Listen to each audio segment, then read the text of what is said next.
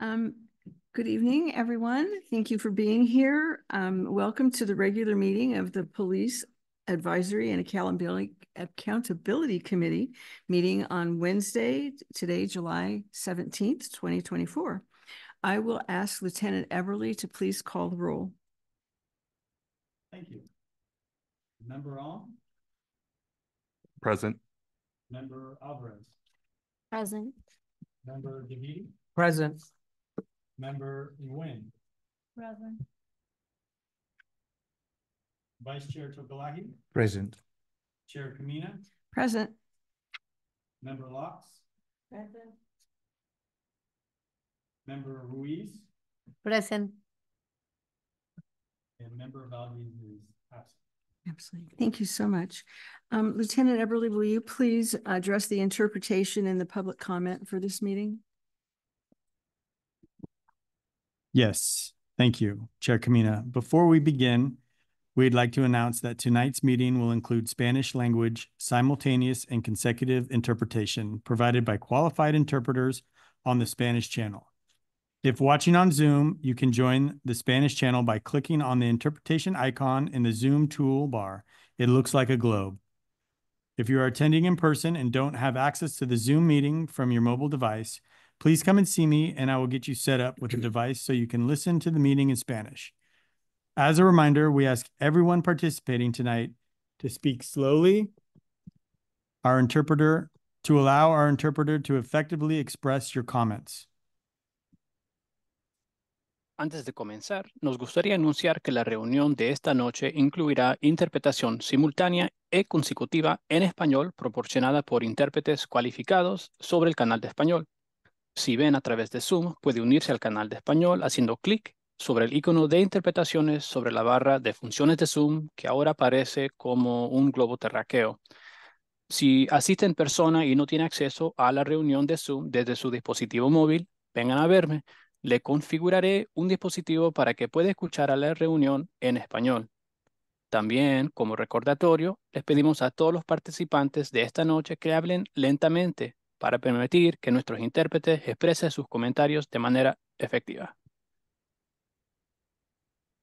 This meeting tonight is being recorded and members of the public watch online or listen by phone by calling 669 444 9171 using the meeting ID 898 5264 7245 pound. There will be an opportunity for public comment for those participating in person. Each person will have two minutes to provide their comments. We invite each of you to introduce yourselves by name before presenting your comments. We are offering closed captioning for this evening's meeting on Zoom please select the live transcript button on Zoom to enable this feature. Thank you very much, Lieutenant Everly. Um, so the first item on our agenda is to review and approve the regular minutes from the meeting of July 17th, 2024. Um, do any of the committee members have questions about the minutes? Oh, seeing none. Um, I, there are no members of the public that I see, so I guess there'll be no public comment.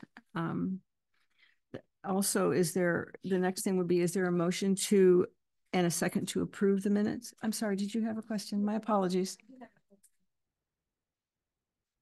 And I have presented this question to um, Lieutenant that um, some feedback that I've been getting about the minutes Although they are action items, some of them don't indicate just enough information to know what was going on on some of the items. So I just wanted that for the record that there has been community input about, I read it and I don't want to know what it means. Um, and then my second thing is, is, is there full membership? I'm not a voting member today. I was questioning that. I think I'm not voting today. I think not, because the only person missing is member Valdez. So we Oh, have a quorum? or- You have a quorum? Or, Okay, is that, Yes, you're correct. okay. Thank you. That was thank it. you, and thank you for your comments. Mhm. Um, any other comments or questions? Okay, given that, is there a motion and a second to approve the minutes? please. Motion to approve. Thank you. Is there a second? To appro- Thank you.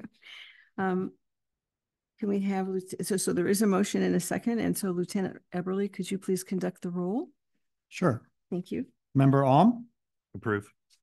member Alvarez, Approved. member Davidi, Approve. member Nguyen, member Ruiz, Approve. vice chair Tokalahi, Approved. and chair Kamina. I approve. Thank you all so much. So the minutes are approved. Um, this is the time for open, uh, excuse me, the open time for public expression. And I see no public, so there will not be, there's no need to do that. So we'll move on to the next agenda item, um, which is providing feedback on the San Rafael Police Department's viol- domestic violence presentation was at our last meeting. So, um, Madam Chair, if I may, please. before you uh, conduct the rest of the uh, meeting uh, business, uh, I wanted to make an introduction, if that's okay, at the onset of the meeting. Absolutely, please. I wanted to uh, formally introduce a new member of our team. Uh, Teresa Olson is uh, sitting at the staff table with uh, Lieutenant Eberly. Uh, Miss Olson was uh, brought on to the organization to support the PAC. So uh, she is not, she's an analyst that uh, works for the police department. And just to share a little bit about Teresa, her law enforcement career started uh, in 1997 with the Benicia Police Department as a police aide. Uh, she transitioned to a two decade career in police communications where she served as a dispatcher, uh, communications training officer, and a dispatch supervisor. She's certified by the California Peace Officer Standards and Training Commission with uh, a basic and intermediate and advanced uh, certificates as well as a supervisory certificate. Her uh, expertise continued beyond law enforcement when she has been involved in pivotal roles such as uh, senior administrative clerk and management analyst too for the city of Benicia. She's also served um, as an adjunct um, instructor or professor for the Napa Valley College. Uh, before joining our team, Teresa held the role of administrative analyst um, in the professional service, or excuse me, the professional standards unit of the Vallejo Police Department. Uh, her academic achievements include a Bachelor of Science degree, excuse me, a Bachelor of Arts degree uh, in management from St. Mary's College, go Gaels, uh, as well as her Master of Science in Criminal Justice from California State University, Sacramento. So uh, we feel very privileged to have Teresa join our team. She'll be working to support the needs of this committee and uh, supporting Lieutenant Eberly uh, in the administration of the PAC. So welcome, Ms. Olson. Well, thank you, Chief, for that wonderful intro- introduction, and thank you so much. I was privileged to sit on the oral board that um, hired you, and obviously the board did a great job because you seem like quite competent, and we're very happy to have you here. Thank you. Um, so, anything else about that? Our first agenda item then is to um, provide feedback on the presentation from last month, which was the San Rafael Police Department's domestic violence presentation. Um, is there a staff report on that? There is. Well, surprise. I would, I would be happy to present it. Thank you. Um, so, uh, good evening. Um, at our last meeting, um, for those of you that were there, and I know that those of you that weren't were able to watch it in, re- in recorded version. Uh, we heard from Detective Lor- Lorena Vega with our investigations unit and Luz Alvarado, who is a, program director for the Center for Domestic Peace. During the last month's meeting, we learned about the complex complexities of domestic violence and some of the services that are offered to the victims, as well as the cooperation that goes between victim services and the police department. My hope is that it was helpful to understand that although domestic violence is prevalent in our city, we are doing our part in breaking that cycle of vi- violence and providing compassionate, victim-centered services. Although we outlined some of the statistics in that meeting last month, there was a call for more. Uh, we agreed, um, we, not we, uh, our new PAC analyst, Teresa Olson, was able to uh, provide more detailed statistics, which we published online this afternoon, and we emailed the committee also this afternoon. And a summary of that, um, which you hopefully all have in front of you, will show that the majority of the domestic violence is in the Canal neighborhood. Um, it is listed on your data sheet um, under beat three. So beat three in um, the makeup of San Rafael is the Canal District. Um, and the majority of the victims are Hispanic females, and the majority of the suspects are Hispanic males. I think was one of the questions that was addressed. Um, I will definitely entertain any other questions that you might have um, that comes out of those statistics. Um, but just to reemphasize um, the importance of the training that the police officers go through. Um, there are over, I think, 200 domestic violence calls that we responded to last year. It's not only inclusive uh, to the canal area, it is um, evident all throughout our city, and we take all those cases very seriously. And we're happy to work with all of our, our victim services to um, try to break that cycle of violence. Um, moving on, uh, Member Locks asked a question if the Center for Domestic Peace um, use services, I think it was titled Man-to-Man Services. Um, I was able to research and uh, confirm with the C Center for Domestic Peace is they don't use that particular service, but they do use a battered interventions program for men. Um, it is listed on their website, um, and the title of it is called Mankind. So you can go on their website and uh, Google Mankind, and you'll be able to find all the detail about their men's services. Another question uh, was posed um, is why don't we honor or enforce restraining orders, international restraining orders from any other countries other than Canada? It's a very good question. Um, it is because our two governments uh, have entered into reciprocity, um, an agreement where Canada will enforce the United States domestic violence restraining orders, and we will enforce Canada's domestic violence restraining orders. Because of that agreement, it was codified into law, into the family code, and therefore it is enforceable. Um, there are other countries that that that I should say that's the only country that our government entered into reciprocity with.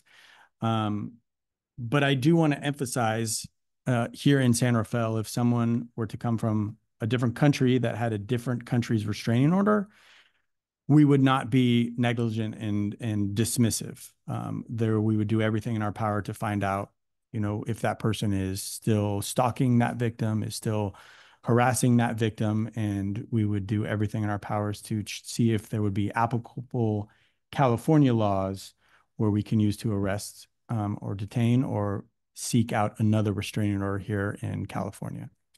Um, I understand how this is inequitable and uninclusive, but unfortunately, San Rafael on its own can't enact a code, a muni code, or a law that we would be able to enforce because obviously our cases go up to the district attorney's office, which is run by the governed also by the Superior Court of California. So we have to follow the laws that are in the book.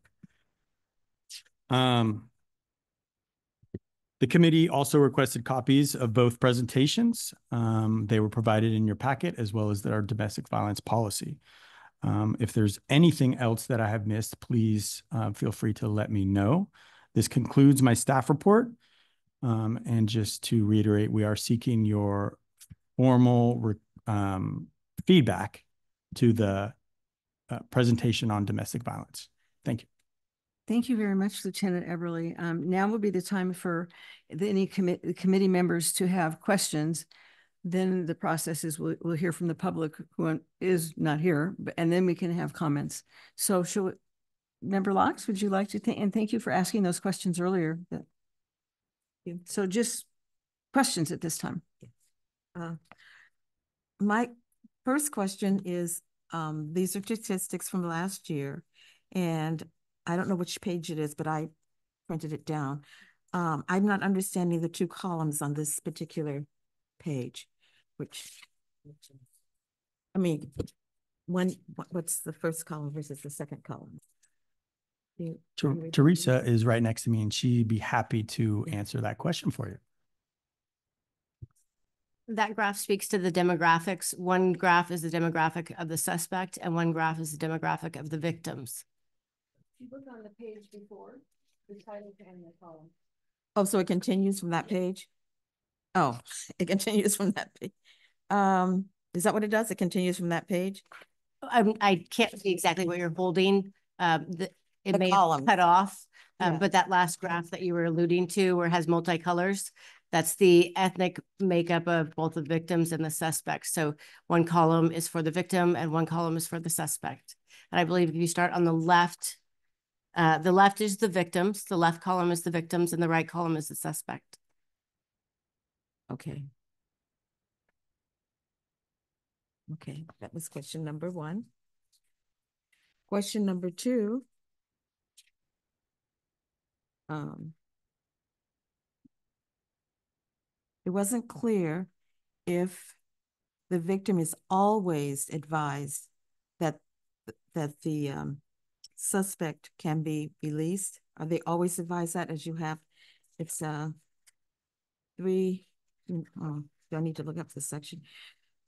Three ten, four, one, three ten, four, one. Um, if the suspect is arrested, the victim is advised. I wanted to, um, just our summary we had last month. Are they always advised versus advice can be can or cannot, you know, it's No. almost like, as written here, almost like a recommendation or suggestion, not determined. No, that's a, that's a great question. And, and it is a shall, and it is every time. And not only when the suspect is arrested at the time of arrest, we notify the victim that they can be bailed out of jail. Um, when we have a, a great relationship with our jail, when they are about to bail out, we put in another call for service with whatever, if they're not in our jurisdiction, usually they are, um, to go out and contact the victim and let them know that the suspect is about to bail out. Those, those are my questions. Thank you.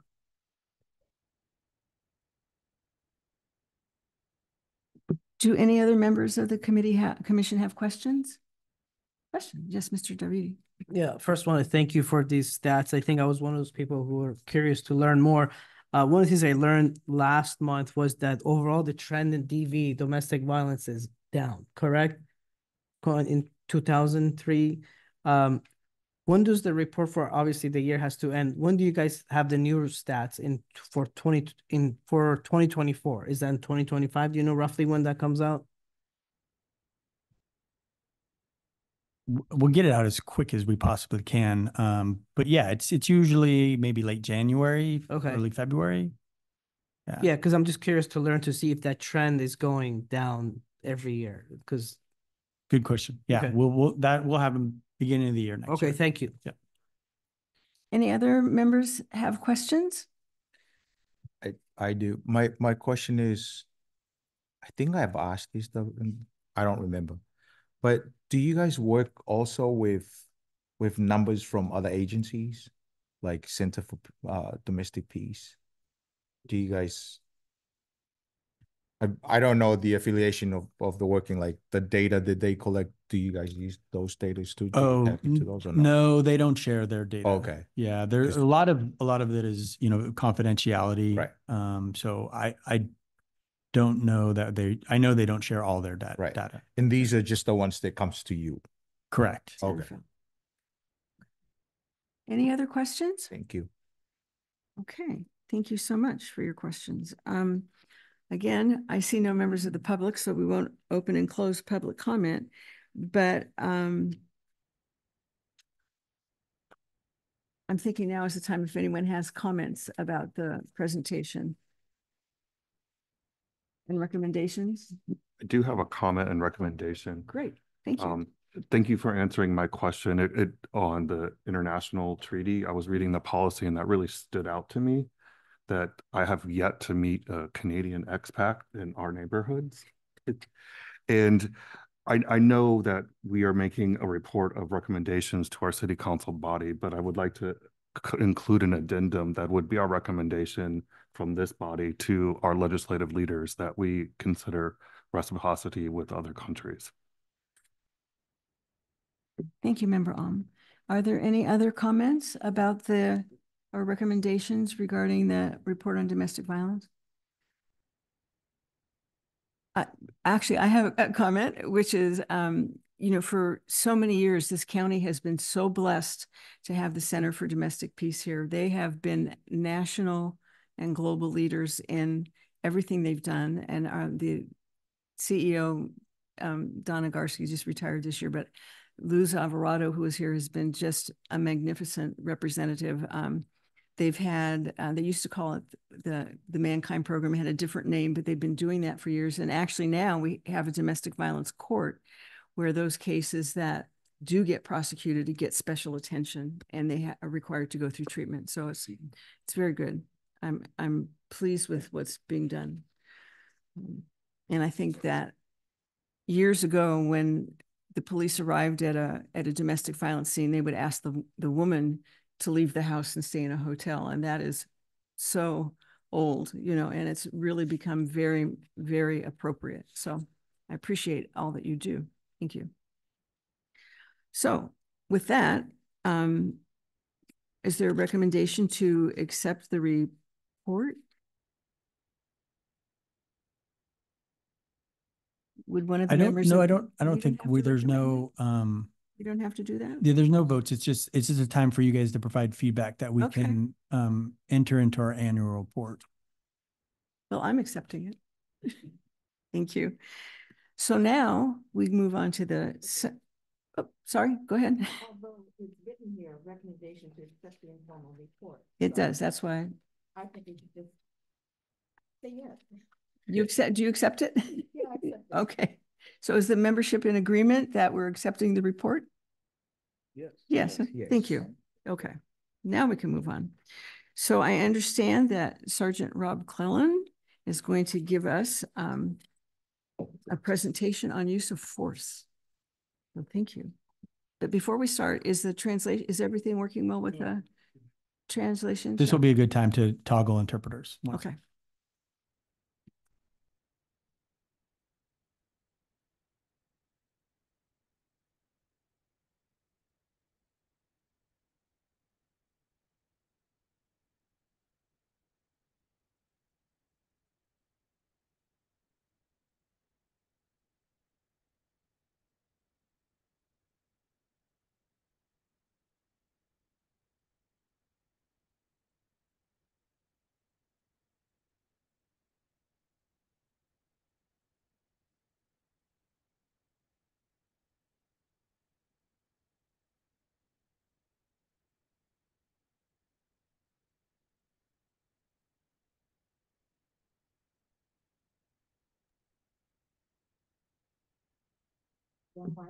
That's what he's checking. She, We, we started late. The question was, was the online working? And I think it's because we started late, but there are uh, five or six people that are online.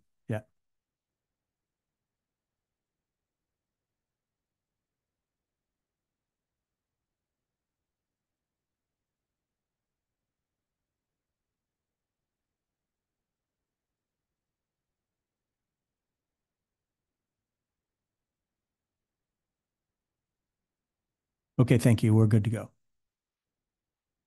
Sergeant Clellan? Thank you. right, Good evening. Thank Good you for allowing me to present to you guys today. Appreciate you guys taking the time out to listen to us. Um, again, I'm Sergeant Rob Cleland. I've been with the San Rafael Police Department for 19 years. Um, I'm currently a self-defense and tactics instructor, firearms instructor, use of force instructor, taser instructor, um, active shooter response instructor. Um, and I'll be giving you a brief presentation on use of force today. Um, so our officers at the San Police Department are governed and required to follow federal case law, uh, state law, and department, um, police must always follow department policy. Um, and those, the federal case law is Graham v. Connor, Tennessee v. Garner, and then the state law is eight thirty-five A, which is the use force, um, penal code law. And then our policy is Lexipol three hundred.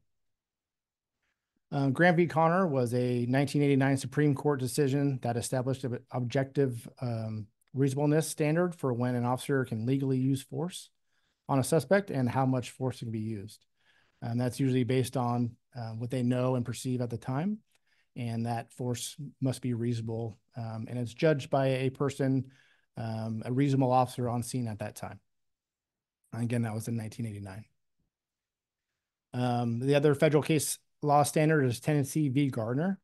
Um, this is also known as the fleeing felon rule. Um, in 1985, the Supreme Court decision established that an officer may use deadly force to prevent a, the escape of a fleeing suspect with the belief that the suspect poses significant threat or death or serious physical injury to officers or others if not immediately apprehended. And this stemmed from, um, obviously in Tennessee, where a subject um, broke into a residential house and they're a burglary suspect. So no violence, but a property crime. And that person was shot by the police um, back then. So, um, so that case law dis- um, decision changed the way that police do that with um, fleeing felony suspects. Um, and we'll get a little bit into that in a little bit. Penal Code 835A, um, it's the California Penal Code. It was rewritten into state law 2020 after the passage of AB 392, and that's Assembly Bill 392. Penal Code 835 set the guidelines when officers in California can use force um, upon a person up to including deadly force. And then our San Rafael Lexipol policy. Um, so this policy provides guidelines on when reasonable um, use of force. While there is no way to specify the exact amount of or type of force um, to be applied in any situation, every member of this department is expected to use guidelines set in 835 PC in this policy to make sure decisions um, and professional, impartial, in a reasonable manner. And that's under Government Code 7286. Um, policy 300 includes um, duty to intercede, reporting excessive force, and carrying out their duties in a fair and unbiased manner. Um, altered alternative tactics and de-escalation, reporting and investigating the use of force, medical considerations um, that we need to do after a use of force, um, supervisory um, supervisor responsibilities, and then of course training. Um, so we are required to do biannual training um, on use of force, arrest and control, um, the use of a taser, firearms, things like that. Um, and that and that training includes arrest control techniques, um, what can be basically control holds. Um, basically, if you place somebody in a risk risk control hold, um, or you're using techniques to bring them safely into custody, we we train those. Um, and includes handcuffing, um, alternate ways to transport them if they're actively violent and kicking us. We have a uh, maximum restraint that we you know put around their ankles, things like that, and then we, we train on proper um, transportation to the hospital or jail if need to. So we, that's included in the training.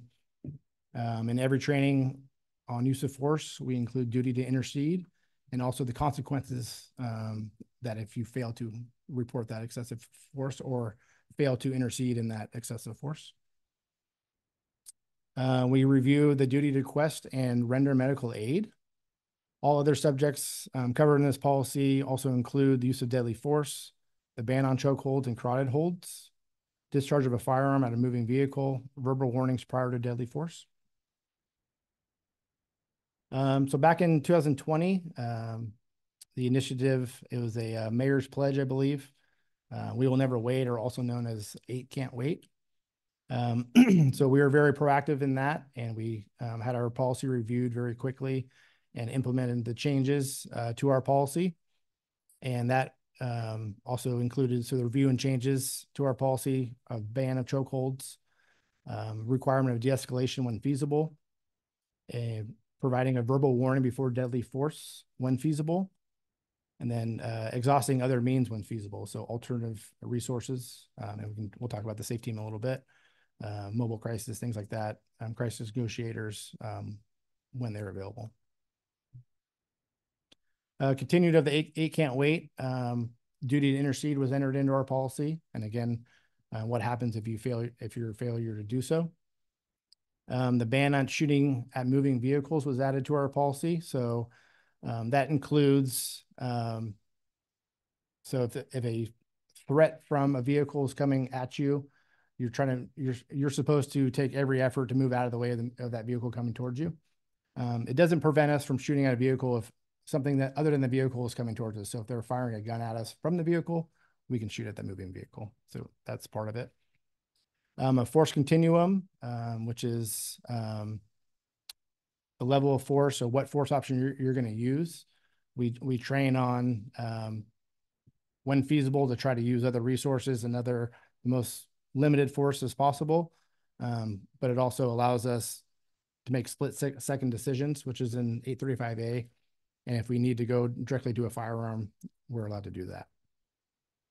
And then also part of the eight can't wait was uh, more comprehensive reporting to the DOJ. So all use of forces that um, result in um, serious and um, significant injury have to report it to the DOJ yearly. So when can officer use force? That's the big question. So when a person has committed a public offense, an officer may use a objectively a reasonable amount of force based on the totality of the circumstances known or perceived to the officer at the time.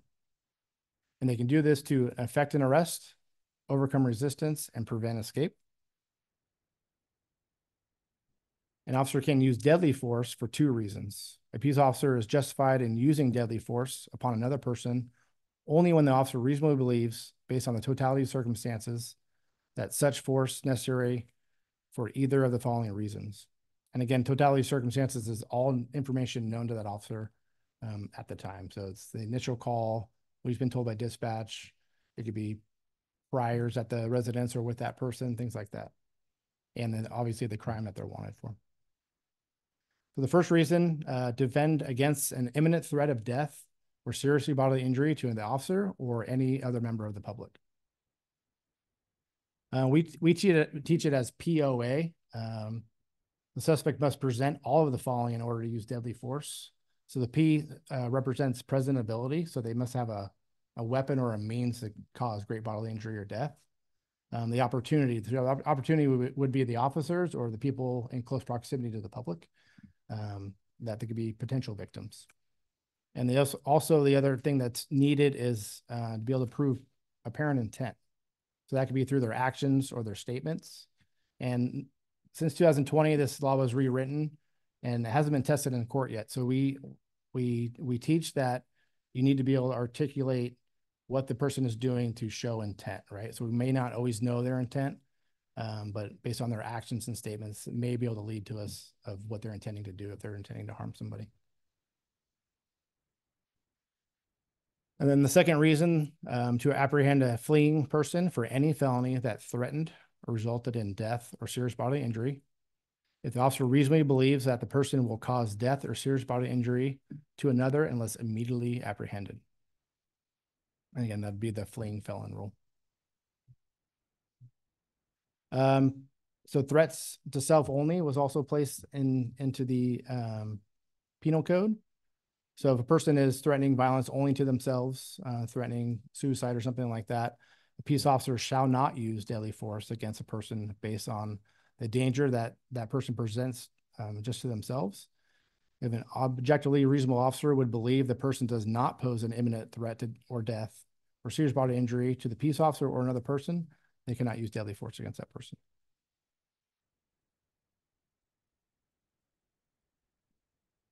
Um, so going into in use of force investigations, so every use of force is reviewed uh, by a supervisor, um, and they're required to respond to the scene at the time.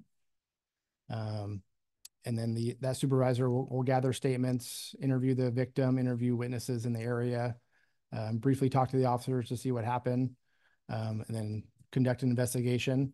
He'll write a use of force um, report, and they're they advise their their supervisors, so usually a lieutenant above the sergeant or a supervisor, will be advised that a use of force was used and a, a use of force report was completed. That report will be forwarded to the administration and they will review it and see if it's within policy and law. Um, and then the last person to review it is an instructor staff member, someone like me. and I've been instructor staff uh, for six years out of my 19 years. So now I re review um, all the use of force. Um, and we we take that information and usually by the time it gets to me, it's we know um, administration has made a decision if it's if it's within policy. Um, so I review it to enhance our training. So we I, I look at it, I review the video, I review the reports and look at some things we can do. You're you're able to do that for us, but is there alternate way you can handle it? Could you have done this to maybe keep yourself safe or others safe? Um, and we look at the totality of circumstances. Was it feasible at the time? Um, and then we, we put that into our annual training or biannual training if it needs to be, and we bring it up and discuss it and sometimes show the use of force reports um, or videos to see how we can learn from each mistake, if we made any, or just how you get better um, and better serve our public. Um, and then any use of force believed to be excessive um, is thoroughly investigated, um, whether internal or external. That'd be up to Chief Spiller to make a decision if it's going to be investigated internally or externally. So what does the San Rafael Police Department do to ensure officers use necessary force? Um, we strive to exceed the minimum training standards set by POST. POST is a police officer standards and training. Um, and which again, it's biannual training for each of those use, use of force plat platforms. So arrest control, taser, firearms, and, and, things like that. And we often exceed those minimum standards um, every year. We send officers to specialized training, um, CIT, which is um, cr critical incident training. So how to deal with people with mental illness, um, dealing people with cri in crisis. Um, so every officer, usually within their first 18 months, is sent to CIT training. And I believe that's a four-day um, training usually put on here in Marin County. We incorporate de-escalation into all our use of force, even firearms use of force. So out on the range, we also use de-escalation tactics um, so giving verbal warnings beforehand, trying to, you know, build rapport if, if needed. Um, and also on the range, we uh, practice with our less lethal um, weapons. Um, so less lethal beanbag shotgun or a less lethal 40 millimeter launcher. And those weapons allow us to get um, time and distance to de-escalate the situation um, before we have to resort to the use of force with a firearm. So we train that out on the range um, in all our trainings. Um, and we expect our officers to police with respect and compassion for our community. Um, I we strive to use the least amount of force necessary uh, to effect our arrests. Um, and that is also talked about in our training, how dealing with our public is, is number one, treating them with respect. And we use, use, use force as a last resort when needed. Um, so the San Rafael Police Department uses alternate resources in addition to patrol officers. So we're the first and only um, city in the county to have the SAFE team. Um, and they're, I think you guys have had presentations with the SAFE team already, and they're very good at um, dealing with the calls that don't require a police response, right? And that um, is known that people suffering mental illness often don't respond well to police departments and often result in use of force, um, which we have the SAFE team out there now, and now those will limit those use of forces against people um, that sometimes don't respond well to the police. We also have mobile crisis, which is a county asset, um, and they're allowed to come out and place people on uh, mental evaluation holds, 5150 holds, um, and they come without without police, and they can handle it. And sometimes it's a little violent. We'll go as a co-response and help them um, to alleviate use of force. And then also we have uh, CNT, which is Crisis Negotiations Team, which um, I'm currently the Crisis Negotiation Team leader, um, which I'm part of. Um, so we have members that are in patrol that can be accessed for you know critical incidents, and they can be called in to negotiate with people in a crisis. So that is also another layer of de-escalation for them. So the use force stats. So um, we deal with a lot of calls in the city. We're we're a very busy uh, little city in Marin. So we handled just over 44,000 calls for service. In 2023, we made 1,653 arrests. And out of all of those arrests, um, only 53 resulted in use of force. Um, so that's 0.12% of the calls for service resulted in use of force. So I think it's pretty low in Rafael uh, based on those numbers. I think we strive to um, you know, make a culture of de-escalation, only resulting to force when we need to.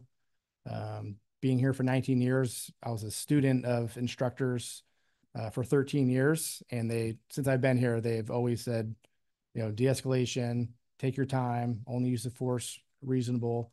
And now being an instructor for the past six years, I take it upon myself to teach every officer um, that that same role. So we currently just finished an eight-hour use of force training, uh, which is now state mandated, um, and it, really allowed our officers to see how they have to think critically. And our ultimate goal is not to use force against people, and the training was very good. So obviously, it's a very busy town in San Rafael. Um, you know, forty-four thousand calls a year, and I think it's a testament to our culture that we try to use the least amount of force as reasonable. Um, in the past 25 years, we've only had two officer involved shootings, and those were very violent incidents. And um, so I think it's it just shows that we, with all these calls for service we handle, we result to that very last. So um, I want to thank you for letting me present to you guys. Um, but that's all I have for you tonight.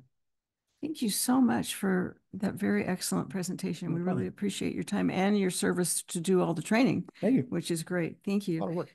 I appreciate it. Um, are there any questions from the committee to Sergeant Cleland?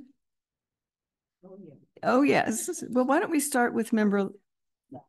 Oh, well, because you're so enthusiastic. Go ahead.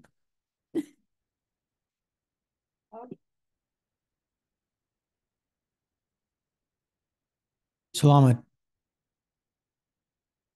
Thank you. I really appreciate the uh, statistics for twenty twenty-three. Uh, one question before I get into the report, one question I've always wanted to ask is if somebody is holding a knife, threatening you, because I have done police, um, shooting training in the military, Okay. brief, because I'm a nurse, so we don't do a whole bunch, you know. Um, why is it that you always aim for the, you know, the, the torso rather than maybe the arm, which is holding the knife? I've always wanted to know, or if they're running towards you, why not the thigh, which would stop them from running towards you rather than the torso? I've always wanted to ask that question as a citizen on the planet, you know? Yeah. Instead of aiming at the largest part, which obviously you aim at the largest part. Why is that not part of the talking about the use of force? What does that mean? You know, I mean, use of force, you've got lots of force. It's all on your body. Mhm. I'm not understanding why that's not implemented in that way.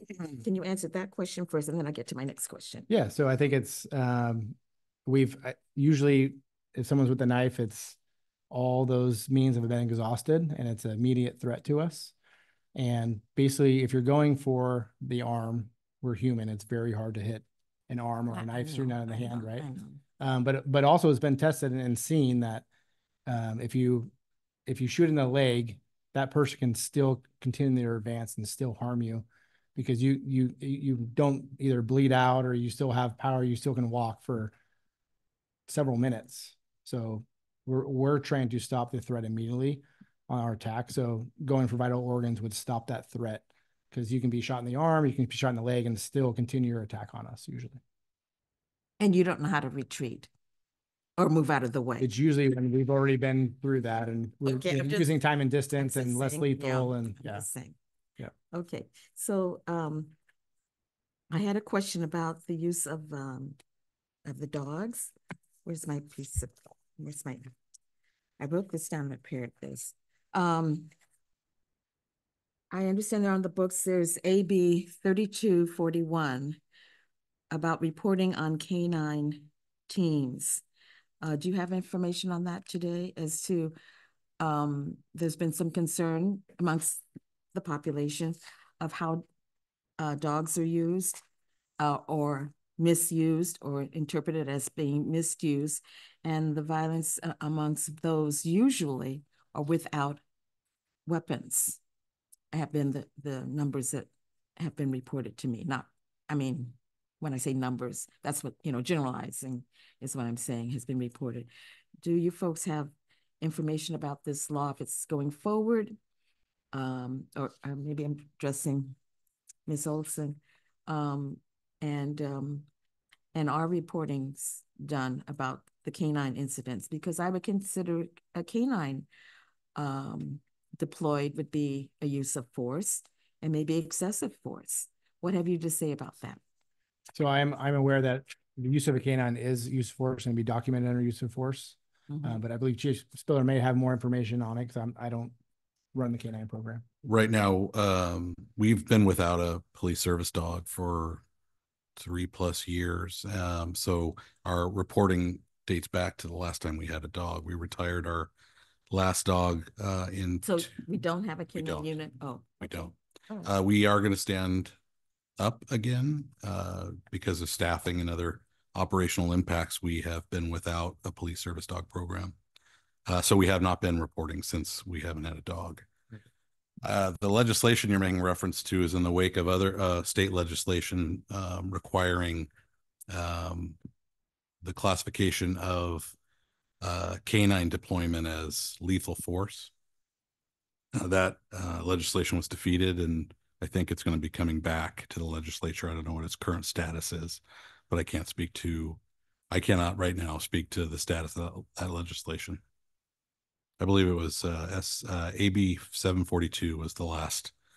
Yeah.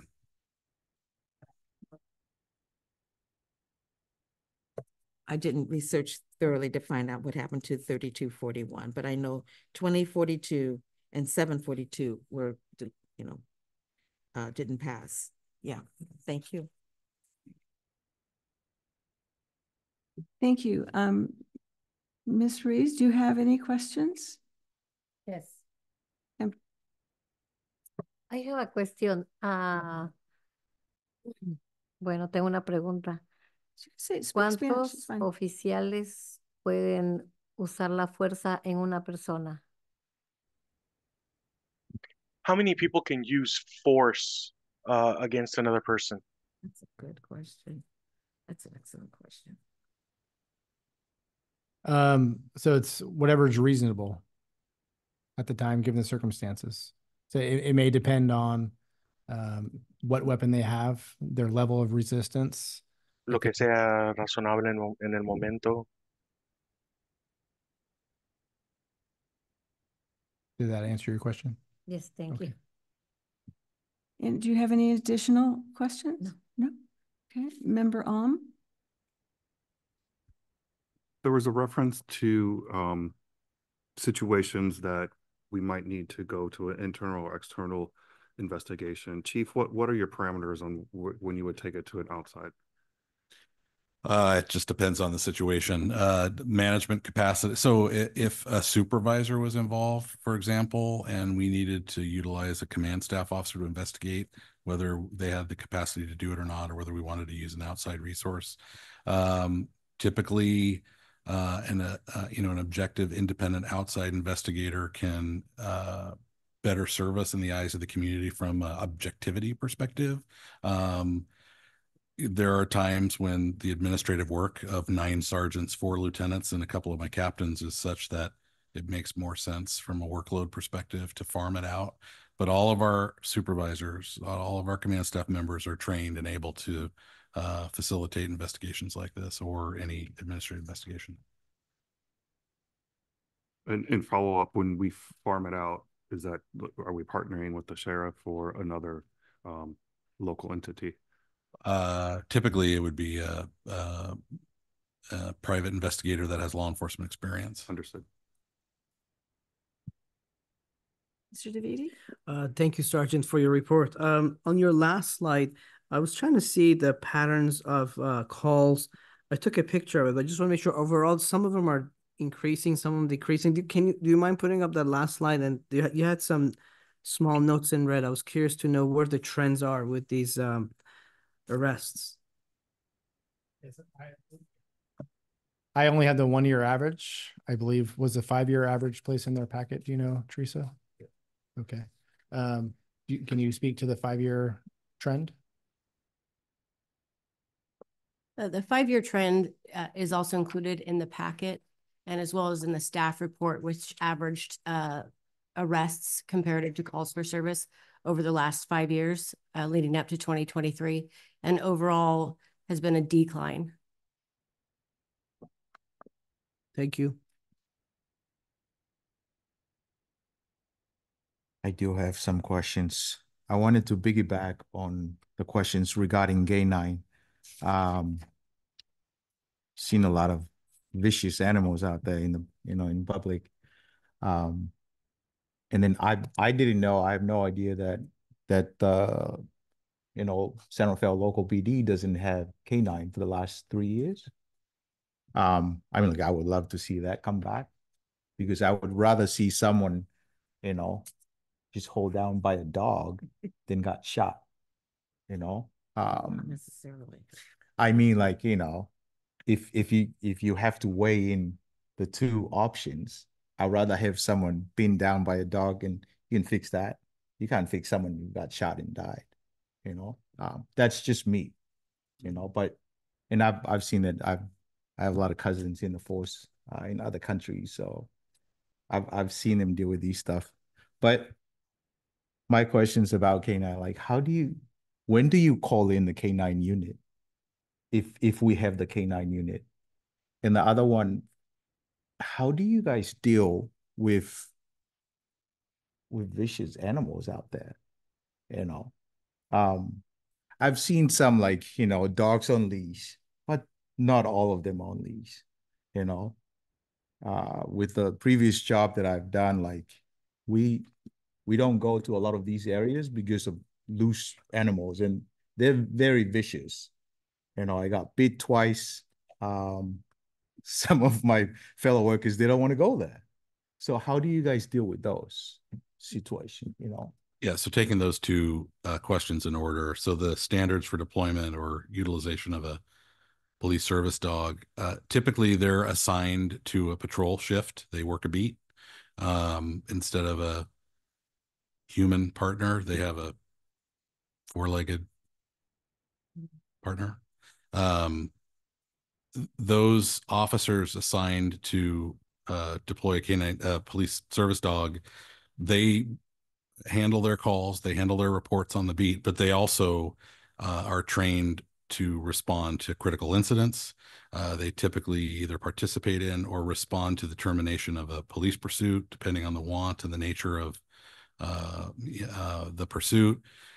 Uh, we have suspects who have fled, and we've got what we think is a contained perimeter. We have lost children, and that would be like an on leash search for a, a lost child. Uh, we use the canine for article searches if we're if we think uh, evidence or uh, a weapon was discarded in the course of a foot pursuit or a vehicular pursuit or any flight of a suspect. So there's a lot of different deployments. The canine handlers uh, go through a lot, underscore a lot of training, and um, you know their basic training. They're bonding with the dog. Because we procure a dog, and it includes bonding time. It includes basic training, and then there's ongoing training with state certification. Those certification criteria include like call off, like if uh, the dog gets sent and the suspect complies, the dog has to stop mid dash and lay down. So all of those types of things are, are performance standards.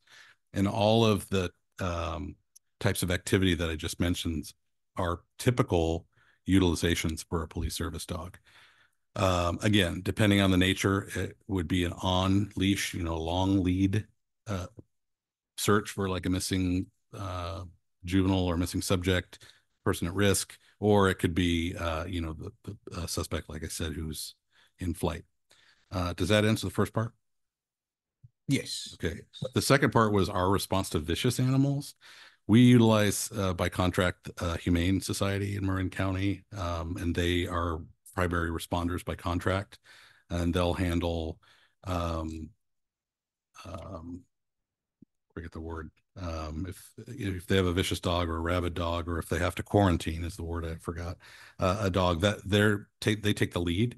But if there's like a life safety issue with a vicious animal, we're we're going to respond to that, and the officers will do their level best with the tools that they have to contain it and control it without uh, exposing the public to any more danger than it was already uh, present. Cool. Thank you. Um, I s- sorry. I have maybe one other questions. Um, you mentioned verbal warnings. Oh. Is there is there a, a number of verbal warnings? Um, the only reason why I asked that because you also mentioned the force continuum. Um, I don't know where in that continuum, uh, you know, becomes the, the verbal warnings, drawings, you know, um, using of force. Because I know like it's, it, it's, it's probably too hard and so hard to, it's tough for those guys to, and women stepping out in uniform and judging what's going on, you know, at the time when it happens. So I don't know, it might be a stupid questions. No, Uh, it's not. Stupid. my apologies, but where in that continuum line is, you know, I just want to see, I don't know, if you can draw a picture just to give us a big picture of it. Yeah, so I think it depends on every situation is different, right? So we, we train to put out a verbal um, identification, first identifying ourselves as the police department. Um, and it all depends on how, how fast this situation's evolving. Um, but when feasible, we, we're trained and required to put out a, a, uh, warning, say, you know, San Rafael Police Department, if you don't drop the knife, you could be shot, or something like that, along those lines. So giving a warning of, you know, what they're doing is gonna may cause force, and this is the force that's gonna be used, and trying to give them time to comply with that um, before we have to use force. So we, we train to try to put it out as early as possible, but you never know. I mean, it can be split Right. second decision, someone charging at us or something like that, or um, where you don't have time. So the, the law also covers that um, only when feasible. So if you don't have time, and something happens within seconds, you're not gonna have time to say, you know, police, you're gonna get shot if you don't stop. Thank you. Does that answer your questions? Yes. Miss Nguyen, do you have any questions? Well, I just want.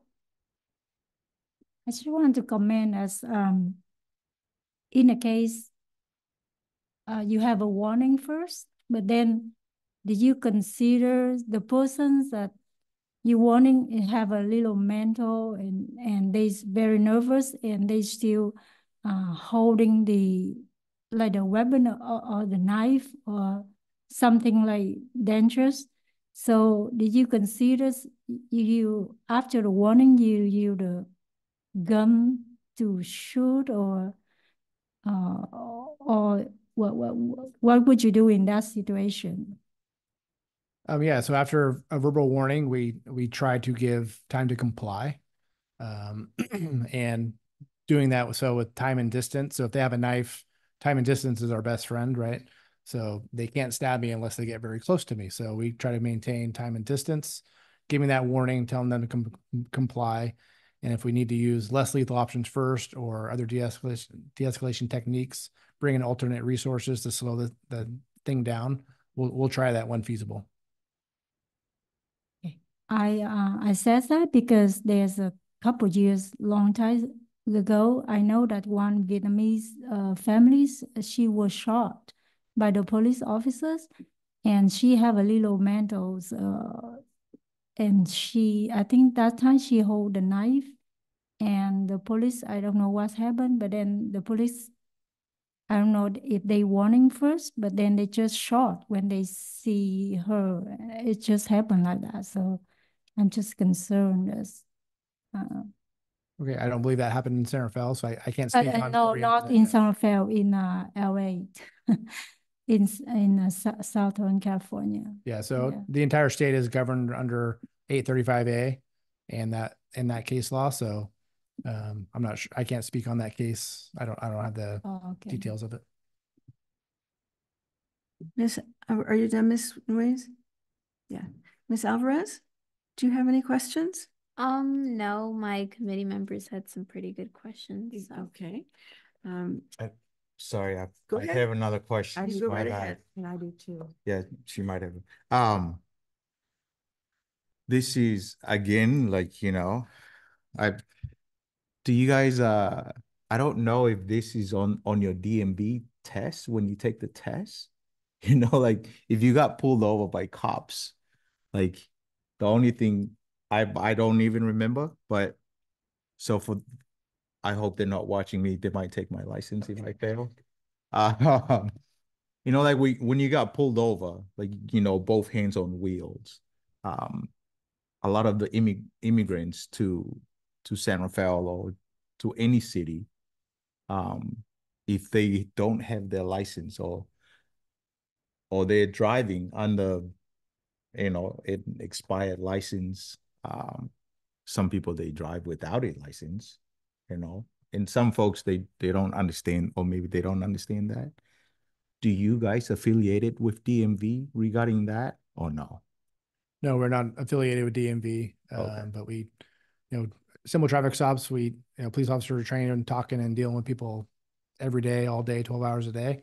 Um, so I think we're very good at reading people's behavior, um, how they're acting. Uh, we understand that, you know, we, we serve an immigrant community. Yeah. And we have a lot of officers that speak Spanish, which really helps, um, with that communication barrier there. Um, but yeah, just simple traffic stop. Of course, we're always aware of how they're acting, but it's, Right. you know, they're, I don't know if we, we don't contract with DMV and teach them how to do it because they're just driving a car and they can kind of react however they like to us. It, for those watching at home, it's not a law, but it sure is a good idea to have those hands up on the steering wheel. It's just, there's a lot going on with the traffic stop. You know, traffic's whizzing by. The police officer who initiated the stop has no idea what's going on in the car and they suspect, you know, they know why they stopped the car for vehicle code violation or whatever, but um, yeah, not a law to have your hands up on the steering wheel visible, but sure is a good idea. So I can tell my wife it's not a law. Feel free. But you should But- put your hands on the wheel. It's it's It's it's her first. It's the only warning she gave me when I moved to the state in two thousand and seven. Yeah. Drive, but if you got pulled over by police, please put two hands on the wheels. Um, you know. My my last questions is just on your slide. There was a CNT. I know crisis. I just wanted the full Crisis intervention training. Crisis negotiation team. negotiation team. yeah. All right, thank you. Ms. Locke, you Yes. have another question? Yeah. We, we mentioned mental health and you're, I, I'm assuming that there's some training around uh, de with the de-escalation, maybe identifying that the person's disoriented. I mean, sure, surely you're trained on person's high on drugs, of course, right? What about those that are actually, I'm thinking of the older population and as well as, what about if they can't hear the commands? What if they, I mean, what if, let's say they make a movement to say, or whatever the, are, have the, um, it's uh, HLAA, the hearing loss group here in the county ever interface with police officers to let them know maybe how to assess or to, um, identify, uh, recognize maybe a hard of hearing person's because one thing we're saying not to use our hands and they have to use their hands all the time for communication. So has that been thought about or utilized and so forth when you're making that command, waiting for a response that you would be typically waiting for the response from someone like me, but not necessarily someone who couldn't hear, never heard the response, is trying to read your lips, or maybe you got a mask on, maybe they've got a mask. You mm-hmm. know what I'm saying? All of those variables. I want to know about the hard of hearing because you mentioned time to respond. And if you're responding with your hands in sign language, that might be construed as threatening. Your response, sir? Hmm.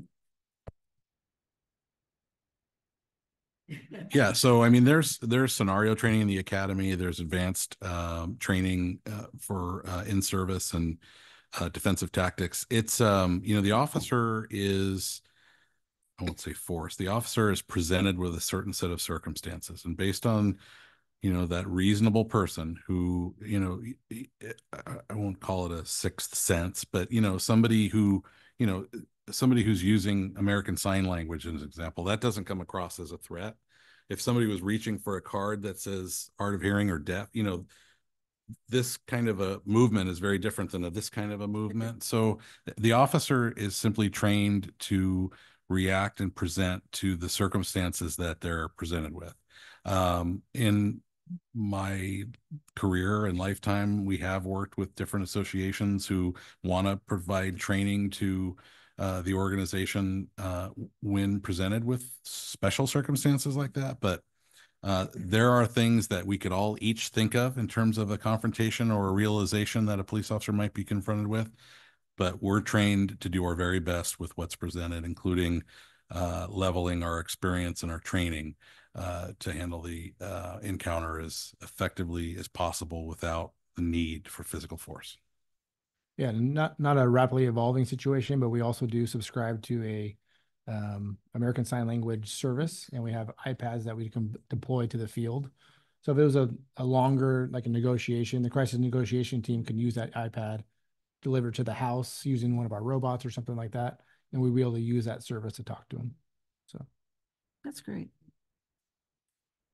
So we'll close the time for questions and I don't um, see any public, but actually this will be the time if you have any just general comments about the presentation. We'll start this way with Ms. Alvarez.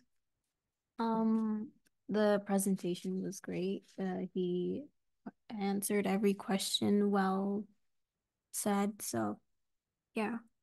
Thank you. Thank you for your presentation. Thank you. Ms. Nguyen, do you just have any comments you'd like to make? No, I, I, I have questions, so I Okay, just. thank you. yeah, Thank you. Mr. Tokolai? I do. Oh, I'm so sorry. Um, I thank you. That was great. Uh, I loved it. I learned a lot in such a very short time. I wrote down a lot of stuff. I'm going to go home, do some research on it. I love this stuff. Um, and this is great info for, for the public too. You know, for those who are listening, dig into this kind of stuff, you know, so, you know, research like today is everything is online, you know, um, and, and I encourage people to do this, learn about what you guys have done, you know, what you guys are doing and going through. I, I appreciate the, you know, the, the presentation. I also like you highlighted four bullet points on what the SFBD, the SF, the San Rafael BD is doing. Sorry. My apologies, SF. Um, you mentioned the, you know, you guys are incorporating de-escalating to use of force. Um, sit, dealing with mental health, that's a big thing in, in, in the city, especially there's a lot of, uh, folks on the street. Uh, also just regular people who are not on the street, but they're going through some of these issues, you know. Um, it's it's hard to identify them, you know, it's it's harder to work with them, you know, to solve some of these issues. Um, I also like that you tap into using the alternates, the safe team. We all love the safe team and what they do, you know. Uh, the mobile crisis. Um, I'm gonna dig in and learn about the crisis, the CNT, you know, uh, this is great.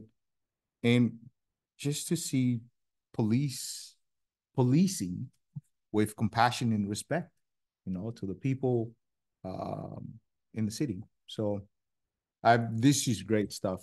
Uh, and, and just wanted to thank you for that. So, yeah. Thank you. Mr. Yes, um, one of the things I learned about the usefulness of the canine, I mean, I think if that's one thing, if the city has a budget or something, maybe more of a recommendation, if we can pursue that more actively to have a canine unit, uh, I think I see big benefits um, all around. Um, then I think that was it. Thank you. Thank you so much. Mr. Allen? Oh, Can I uh, just, I know I'm not supposed to respond to that, but I, I, I shared in my response earlier that we were going, we are intending to redeploy. Uh, so that is going to happen. We've actually identified the handler. Uh, there's a lot of training that has to come. Uh, but that might be something that Lieutenant Eberly puts on your twenty-five calendar. Um, we can do an introduction and an overview of the program, including the, the new, uh, police service dogs experience. Hopefully we get to meet the puppy next year. Yes, absolutely. Thank you. Just as long as they don't shed in here. Member Ong, do you have any comments? If I were to add a comment to our report, I, I would encourage and, and recommend more external investigations if we have to es- escalate it. I think I would appreciate more independence and also to take that burden off of our supervisors so they can just do their job. Thank you. Ms. Ruiz, do you have any comments? No, I don't have, but I would like to say only thank you so much for the explanation. Thank you so much. Thank you. Member Logs, do you have any questions? Excuse me, comments? Great presentation. My questions were answered, and I, like other members of the committee, will be continuing to research this particular topic because it is the reason that why we are here. Right. Mhm. Thank you. And my, comment is thank you so much. Um, I would have loved to have heard a demonstration of the police voice that's giving the commands, but that's okay. No, it's very different than what's here today. Oh, I don't, I don't want to embarrass.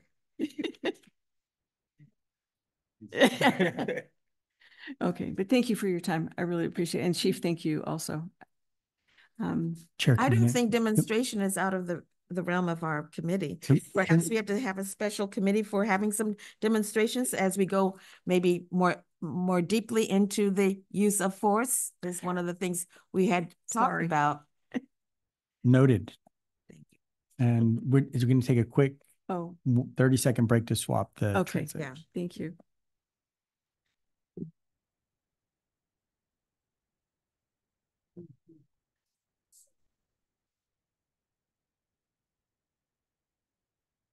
No, we, we have asked for a, um, I don't know what term you want to use, like a truck, like a pretend scenario to see what that's like.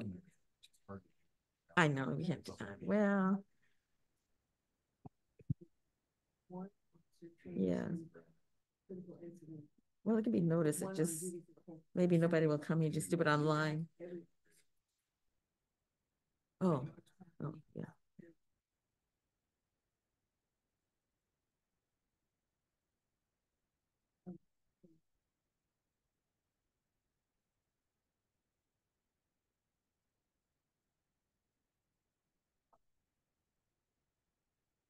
Lieutenant?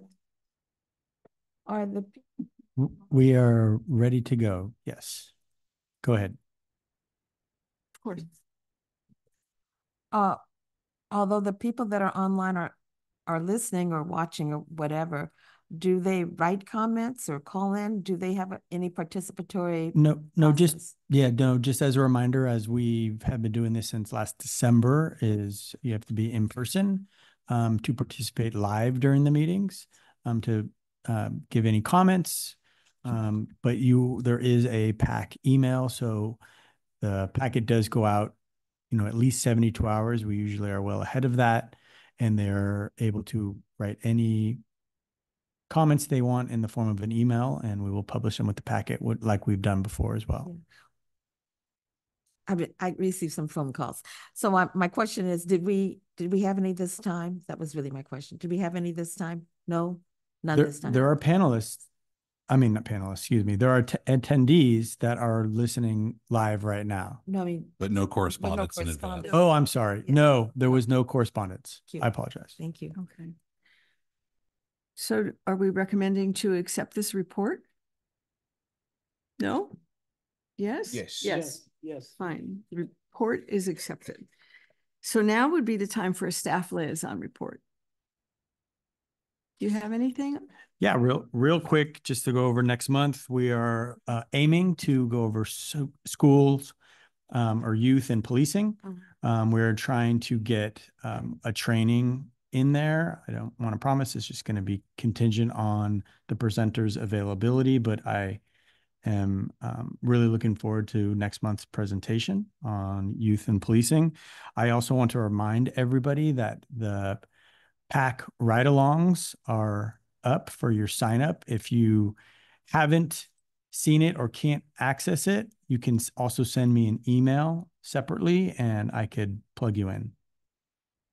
Thank you. That's all I got. Okay, thank you so much. Um, so now would be the time for committee members to give a report of their activities if they, if you wish. So we'll start with down at this end of the table with Alvarez. Um, my report would be talking to the, to my neighborhood. Sorry. Talking to my neighborhood, which is, um, a lot of, uh, assaults on, uh, teenagers and attacks around Canal, so that's worrisome to many people, especially hearing them at night, so. Thank you. Maybe they can, you can encourage them to come to the next meeting since it's on youth, please. The thought? Yeah. Ms. Nguyen, do you have any comments you'd like to make? Uh, no, for this time, no. Okay, Thank you. Member Takalai, Vice Chair, excuse me. Yes, just one quickly. Um, there's a group of mostly all, all of them are Latinos. Uh, not, they're not all from the canal. Uh, some of them live in the canal. Some of them live in the broader San Rafael communities. Um, they're all outreach workers, frontline. So I, I check in with them pretty much every week. Um, so yeah, Things are good? think things are, I mean, like it's looking positive. Yeah, so. Thank you. Mr. Davidi? Yes, uh, we recently visited Darlene's um Pickleweed, the Cub Scout League that she um co-facilitates. Um, it was nice that we all kind of got together and went in person. I think us four, I think were there. Um, we're mindful of the Brown Act. Um, and it was nice that Paul initiated. It was nice that we all kind of uh went together. Um, just wanted to applaud your family for all the hard work they do on the canal, your son. It's amazing that uh, those grassroots, those young age kids who get involved, and it was very inspiring. You know, they have a the leader name is William, and I know that he's looking to expand the Cub Scout. It's you know very affordable. It's a nice way for kids in the canal to be involved in something meaningful, pur- purposeful that rebuilds their community, and they have a sense of pride.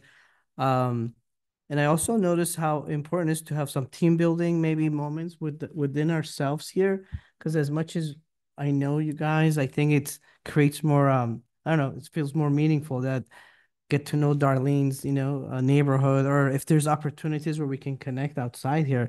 Uh, I think it's a it's a great way to kind of build on on what we're doing. Great, thank you so much.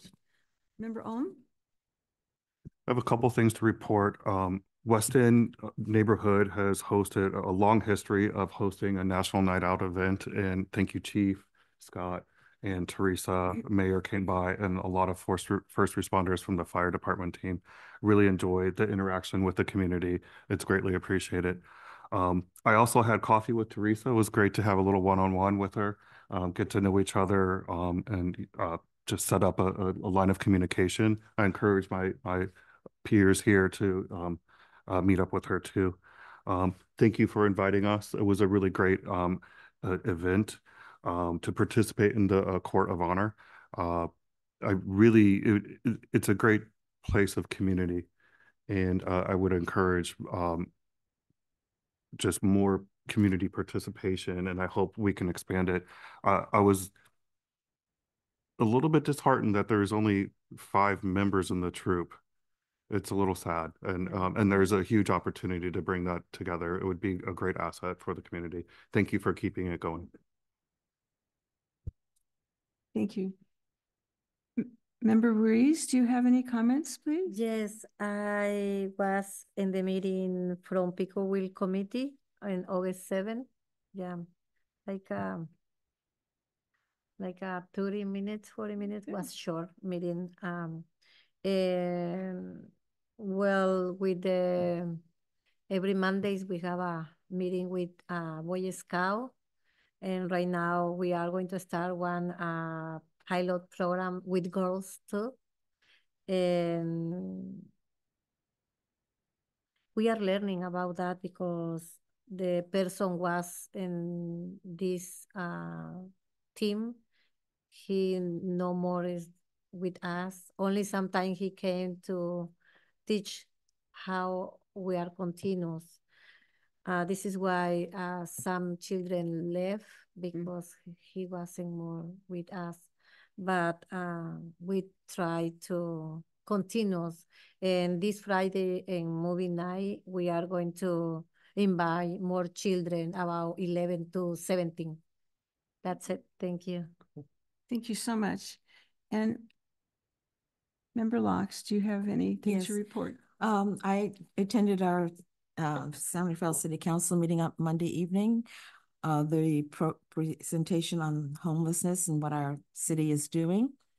And um, you know, there was a lot of discussion about uh, uh, some where it would be criminality that occurs with some of the tented areas and um, but some of the solutions were looking good, but definitely not enough. Um, they're planning to do forty-seven tented shelter, tent, tented shelters. And the number of homeless is much greater than forty-seven. So, um, but it's a first step. And I think that there's actual active involvement with uh, policing and safety and so forth. And so I wanted to commend our our uh, police force with um, their involvement in helping with that situation that I see it as not being solved very soon and only possibly increasing as the number of those who are 50 and above. Uh, that is the increasing number of people that are becoming homeless because of rents, basically. And we have a lot of seniors that have not been counted in the numbers Mm. that are living in cars and um, other kinds of vehicles like up in Nevada, as we all know. So I wanted to thank um, the involvement that our police are doing with that project. Thank you so much. Well, thank, thank you again for all of your work and your presentations and thank you. And I see no public to make comments and I think we're done. So the meeting is adjourned. Thank you Thank so you. much. Thank you.